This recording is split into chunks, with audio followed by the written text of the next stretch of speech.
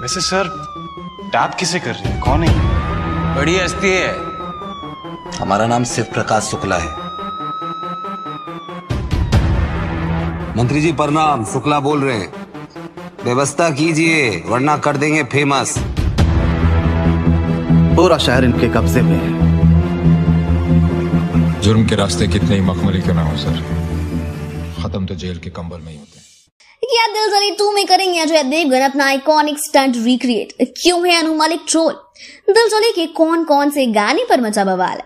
Hello and welcome to Bollywood Raj studios मैं हूँ आपकी होस्ट और दोस्त श्रुति। अजय देवगन बॉलीवुड के सबसे बढ़िया एक्टर्स में से एक है और उनकी सबसे आइकॉनिक फ़िल्मों में से एक है दिल जले। दिल जले 1996 के हिंदी रोमांटिक एक्शन फ़िल्म है जिसका निर्देशन हैरी बवेजा ने किया है। इस फ़िल्म की स्क्रिप्ट को करण राजदान ने लिखा था। फ़िल्म में अजय देवगन मधु और सोनाली बेंद्रे लीड रोल्स में है। परमीत सेठी, शक्ति कपूर, गुलशन ग्रोवर और अमरीश पुरी जैसे महान एक्टर्स ने फ़िल्म में सपोर्टिंग रोल्स निभाई फ़िल्म को काफ़ी अच्छे रिव्यूज़ मिले थे। इस फ़िल्म ने 17.75 करोड़ की कमाई की थी। बॉलीवुड एक्टर अजय देवगन ने अपनी फिल्मी करियर में कई खतरनाक स्टंट किए लेकिन फ़िल्म फूल और कांटे से दो बाइक पर उनकी स्प्लिट ने उन्हें स्टारडम में लॉन्च किया था। देवगन ने अपनी बाकी फ़िल्मों गोलमाल सीरीज़ और असफ सरदार में भी उस स्टंट को फिर से रिक्रिएट किया था। हालाँकि इस बार एक्टर ने अपने आने वाले प्रोजेक्ट के लिए अपने क्लासिक स्पिट को मॉडिफाई किया है। देवगन ने अपने फ़ेमस स्पिट को रिक्रिएट किया है, जिन्होंने 30 साल पहले फ़िल्म फूल और कांटे में किया था। अब सुनने में आया है कि अजय देवगन ने इस फ़िल्म को फिर से अपनी फ़िल्म दिल जले टू के सीक्वल के लिए रिक्रिएट किया है। अपने सीक्वल को छोड़कर दिल जले फ़िल्म एक और वजह से आजकल खबरों में। तो क्या है वो वजह? हम बताते हैं आपको।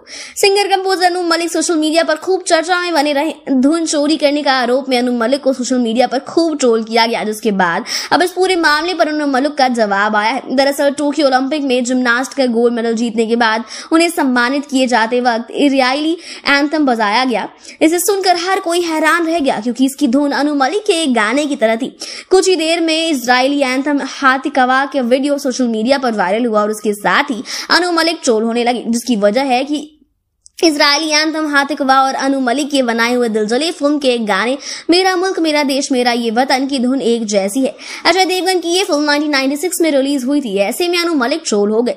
इस पूरे मामले पर अनु मलिक ने आज तक से बातचीत के दौरान कहा, अभी कुछ दिनों पहले ही मेरी माँ का निधन हुआ है और इस वक्त मैं बहुत दर्द में हूँ, इसलिए मेरा ध्यान अभी बाकी बातों की तरफ़ नहीं जा रहा। एक बच्चे के लिए उसकी माँ को खोने से बड़ा दुख दुनिया में कुछ भी नहीं और नहीं हो सकता। ऐसे में जब लोग इस तरह की बातें करते हैं तो बुरा लगता है।